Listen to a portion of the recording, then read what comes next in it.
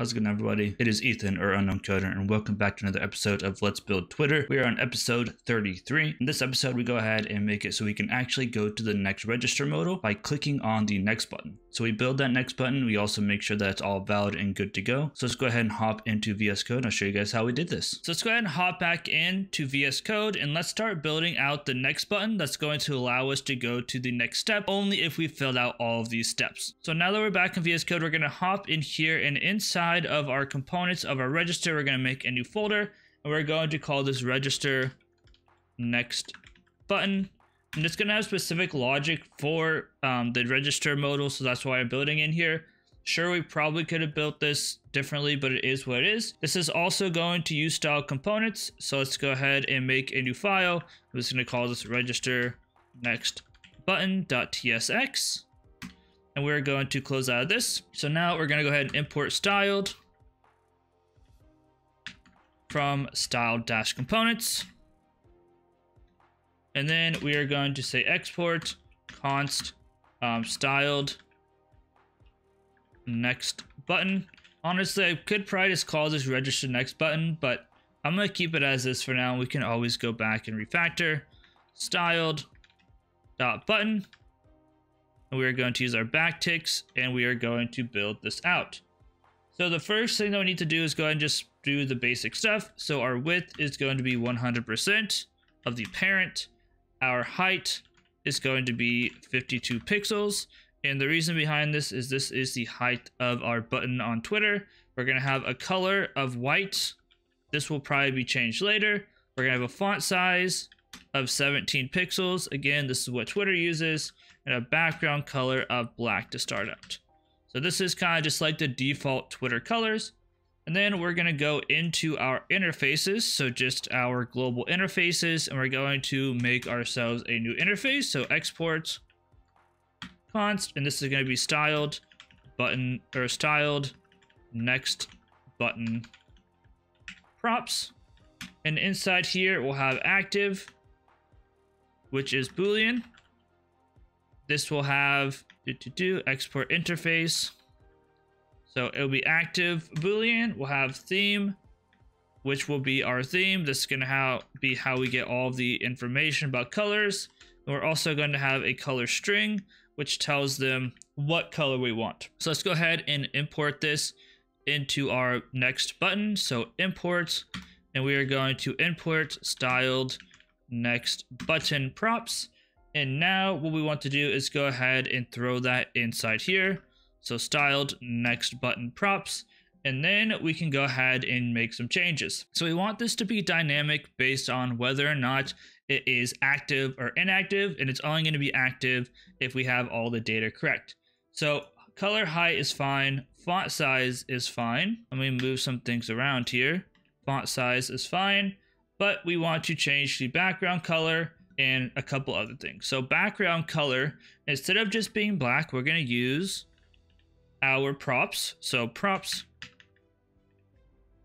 like so. And then we're going to say props dot color is equal to blue.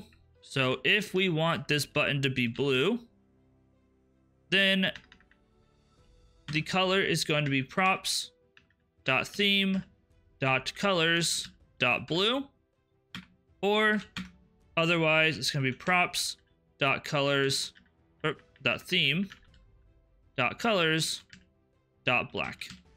So either we are going to specify that we want this button to be blue, and those are going to be the buttons that actually send data, or we're not going to specify and it's just going to be black. Next, we want opacity. So the opacity is also going to be based on props. So props, and this one is going to say props.active. So is this button active? If it is active, we're going to have 100% opacity. Otherwise, we're going to have half opacity. So it's going to be slightly see-through whenever it is disabled or inactive. We're going to have a border radius of about 50 pixels.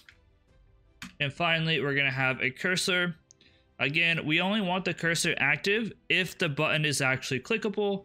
So we'll use our props again, props, props.active. And if they are active, it's going to be pointer. And if it's not active, it'll just be auto, which is kind of like the default non uh, auto or whatever you want to call it. So I believe that should be everything for register next button. Now we need to go ahead and throw this into our register modal. So next we're gonna go ahead and put this inside of our register form one. So let's go ahead and go into register form one, pop it up. And now underneath of our um, inputs, but below the content, we are going to go ahead and say, whoops, styled next button. And we are going to have a couple things in here. So we're going to have disabled is going to be equal to not button active. And this is going to be something that we need to set up in a second. Our color for this one is going to equal black because the first one is black on Twitter. We're going to have active equal to, and this is going to be button active. And finally, we are going to have our on click. And this is simply just going to print out something for the time being. And it's going to say console.log. And we'll say go to the next page. We're going to go ahead and do one of these. And then here we'll have next because that's what it's going to be doing. So we need to do one last thing. Inside of our register form here, we need a state to keep track of whether or not the button is active or not. So let's go ahead and say const button active and set button active is equal to use state boolean and this is going to start out as false. So we don't want the button active whenever we start. So if we save and actually pop back over here, you can see that we cannot click the button. If I refresh, it doesn't let us click, it doesn't pop anything up. So now what we want to go ahead and do is inside of our use effect, we'll go ahead and set um, whether or not it should be um, actually set up or not. And I'm also going to change a little bit out here as well. We're gonna get rid of this register step one state because we do not need it and we're actually going to go ahead and grab the um, the state from Redux because that'll help us out as well. So we're going to go ahead and say const or import. We're going to import use selector. Use selector from React Redux. And we're also going to import our root state from our store. And now I'm going to go ahead and import that state. So I'm going to say const, and I'm just going to say register state is equal to use selector. And then this is going to have our state, which is our root state. And we're going to go ahead and say state.register. I could have just said state, it, it is what it is. We don't need update user because we have gotten rid of that.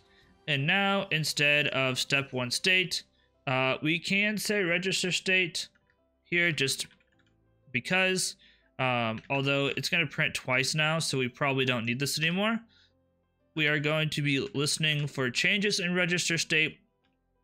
And now what we're going to go and do is I'm going to say if register state dot dob is valid. So if the date of birth is valid and um, register state dot email is valid and register state dot first name is valid maybe and register state dot last name is valid. If all of these are valid then we will go ahead and say set button active to true Otherwise, else set button active to false.